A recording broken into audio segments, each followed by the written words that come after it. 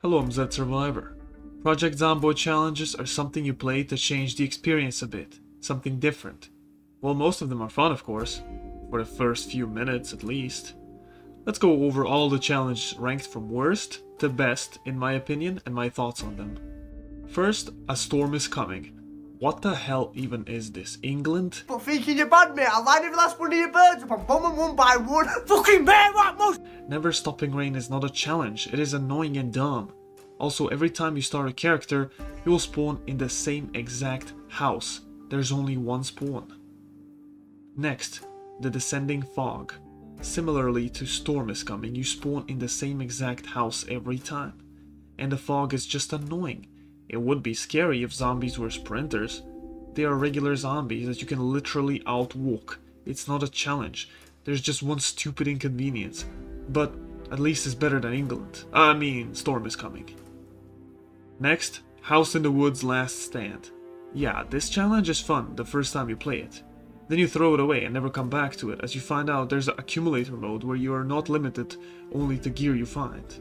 Last Stand would be okay, but you can just walk away from the zombies and keep baiting them around since, as mentioned, you can outwalk zombies.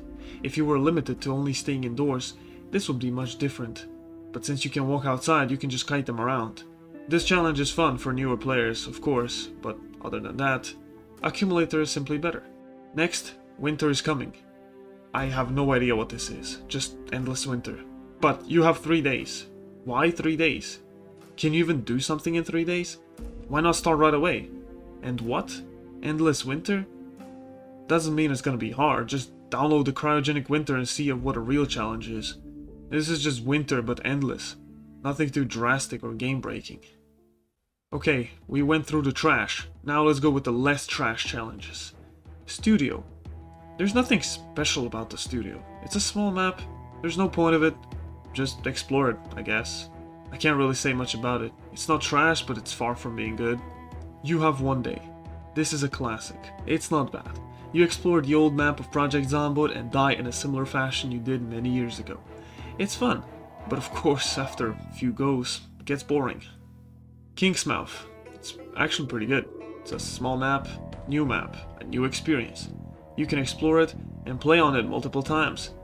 The only thing is, it's a small island. Once you explore it fully, that's it. Knox County is just bigger and better. But you can try Kingsmouth from time to time. I don't understand why any of these challenges don't have multiplayer mode, which we will talk about later. Last two are CDDA and Last Stand Accumulator. Let's go with CDDA first, but they are both on similar level.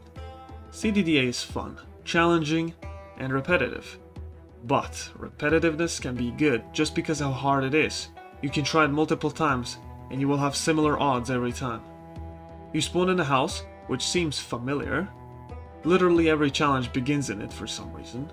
Whole CDDA challenge is very difficult experience and you get to understand the true difficulty of Zomboid sometimes. I love this challenge, played it a lot of times, and we could use more challenges like this that puts you in some kind of a hard situation. For example, I don't know, hospital patient or prisoner, or make the CDDA challenge have more spawns and make it interesting. The last challenge I want to talk about is the Last Stand Accumulator. Let's talk about the cool things. It's fun, of course. You buy your own stuff. You're in control of your economy. It's endless. It's overall a cool idea like Black Ops Zombies. But now comes the bad parts. Where is multiplayer? Why are none of these available in multiplayer, especially Last Stand Accumulator? Next, you can outwalk zombies, making this challenge pretty easy actually. After you get access to the shotgun, just keep buying ammo and you will be able to play it forever. Then, why is the shop so limited? Why can't we get access to different weapons they added recently? Like the Desert Eagle, Magnum, M14, M16, even bombs or building things such as propane torch and metal sheets. The last but not least, why is this the only map? Couldn't they add multiple, for example school, Gigamart, police station, or anything other than this shitty house? This challenge has so much potential, and IndieStone is not using it. Please, do something more about it. Imagine how good it could actually be if someone put fucking work into it. Well, that's my opinion on the challenges. I think there could be more. My personal request would be Neo Scavenger Challenge. as Neo Scavenger gave the biggest advertisement for this game, Project Zomboid, by mentioning it in the main menu. The challenge would be you spawn in a similar cryo facility in a forest, and every house in the world is burnt down like the ones you usually find. This doesn't mean there won't be loot because some containers are intact 95% of the time. That's why I always loot those houses in my normal playthrough. I love Neo Scavenger, it's very fun and hard, you should try it out. Hope you enjoyed, learned something new, or um, had fun watching. Uh, tell me what you want to see next, uh, give me your thoughts in the comments below, and I will see you all in my next video.